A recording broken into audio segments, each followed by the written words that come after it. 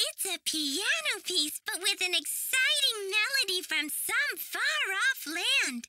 Once you hear the flowing beauty of this melody, you'll never forget it. I think you'll probably remember hearing this before, too. That's because it's a memorable masterpiece.